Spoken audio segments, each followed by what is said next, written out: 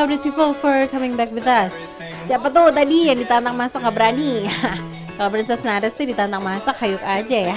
Ditantang bikin minuman mah hajar aja meskipun udah lapar berat. Hmm, kasihan juga ya. Kayaknya kita perlu bantu dia deh. Habis itu janji ya, kita langsung mau icip-icip bareng. Oke, Nares tadi gimana? Masaknya seru nggak?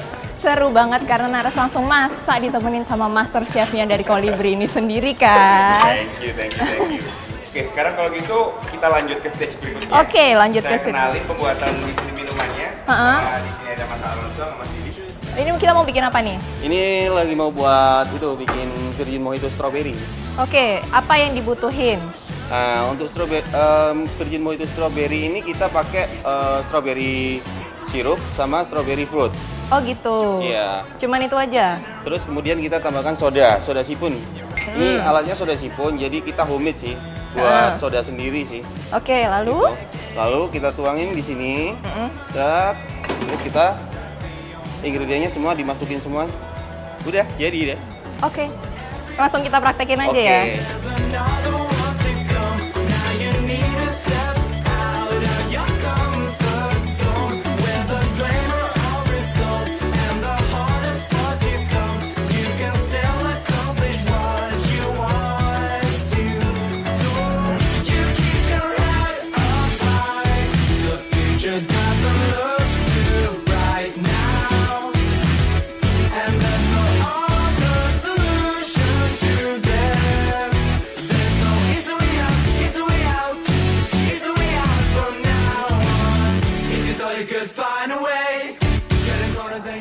People tadi kita sudah masak sama Master Chef. Sekarang minumannya juga udah. Sekarang mari kita coba.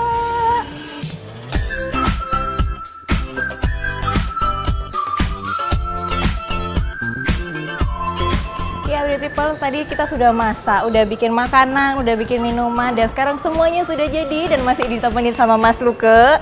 Sekarang Naras mau review makanan dan minumannya. Yang pertama Naras enaknya nyoba yang mana ya? Eh, nasi gorengnya dulu aja karena bentuknya yang lucu. Ya, ini nasi goreng apa tadi? Nasi goreng lobster. Oke, Naras coba dulu ya. Iya. Hmm, Gimana? enggak, enggak, enggak bisa ngomong. nasi gorengnya enak banget, rasanya kuat.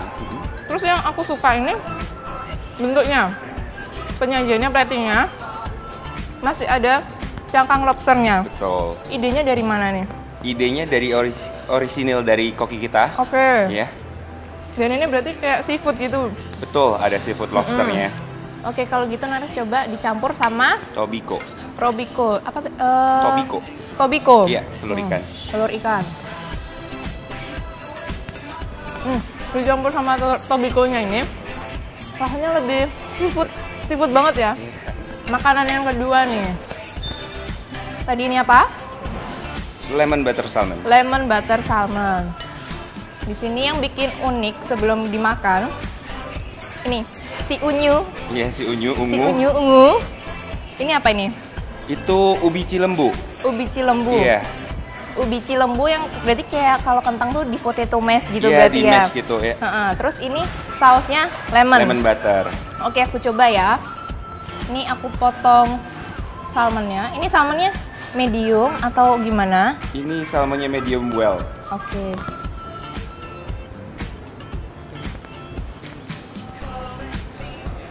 Enak. Rasanya kayak pecah banget di dalam. Kalau dia crispy, Iya, tengahnya tapi masih tender. Lembut. Iya.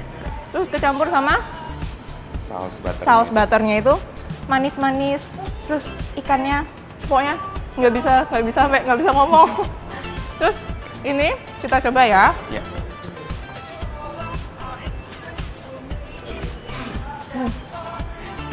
Nggak kerasa kalau ini ubi ya. Iya. Ini rasanya kayak kentang biasa, cuman warnanya unyu. Iya, terus ada manis-manisnya dikit mungkin. ya. Heeh, ada Iya. manisnya.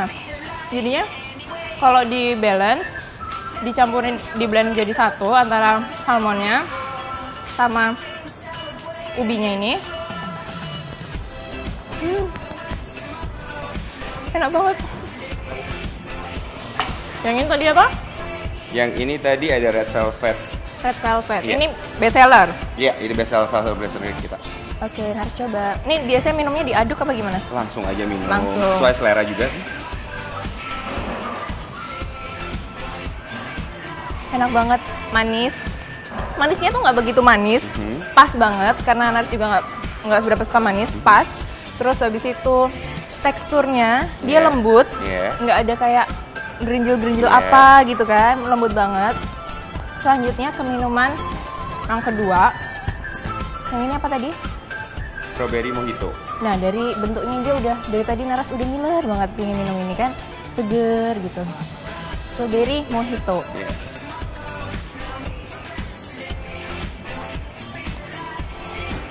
Beda ya antara Beda. yang ini sama yang ini. Iya. Rasanya beda. Yang ini lebih Seger. seger banget, yang ini lebih manis. Iya. Cuman manisnya pas banget, pas banget. Ya udah people, we are officially done. Semuanya makanannya bakal Nares habisin. Eh, City Gate punya tagline sendiri. Kalau Kolibri itu satu, dua, tiga, lolos. Ya people, selanjutnya Nares bakal ke tempat berikutnya. Jangan ke mana-mana, tetap ikutin Nares ya.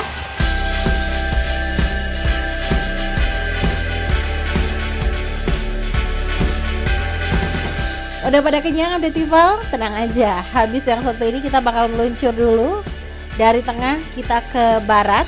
Nah, jadi karena perjalanan jauh banget belum kena macetnya, pasti udah lapar lagi. Terus ikutin Princess Nares ya update people, jangan ke mana-mana.